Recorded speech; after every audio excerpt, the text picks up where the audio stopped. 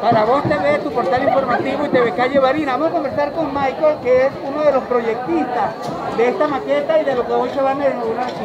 Bueno, primeramente dándole gracias a Dios por facilitar y darnos logro de esta meta que nos hemos propuesto yo y unos compañeros más futbolistas de aquí que la hacemos en este campo, en crear el alumbrado, algo que ya estaba, tenía varios años, hace 5 o 6 años, que prácticamente la, la capacidad de 14.000 jóvenes no veían mejor que de noche por el sistema de trabajo.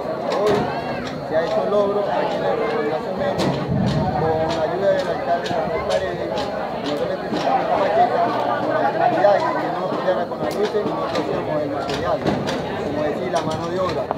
Y hoy le quiero presentar por lo menos la maqueta y la obra se la quiero presentar en estos momentos que a partir de las 7 de la noche que venga el alcalde a aprenderla, visto el proyecto en esperanza para el día de mañana la juventud que está aquí. Los niños que están ahí. Este es el futuro de ellos, este es el relevo de nosotros y aquí está. Esto se presenta para los niños, para los deportistas, para darle vida a la comunidad. Muy bueno, dándole gracias primeramente y el apoyo de los jóvenes que son deportistas con la de aquí ayudando y trabajando. Lo, lo único que pedimos es A partir de hoy, permanentemente estarán a las actividades deportivas aquí en la cancha.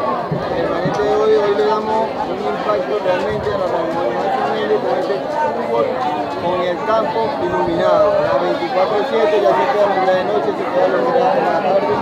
Y dándole las gracias al alcalde que nos hizo ese aporte y el apoyo que tiene con nosotros, que nos está apoyando y que puede. Desde la cámara de Pedro Lares y para vos te TV, tu portal informativo y TV Calle Barina, reporta Edesio García Sosa, la voz de los que no tienen voz.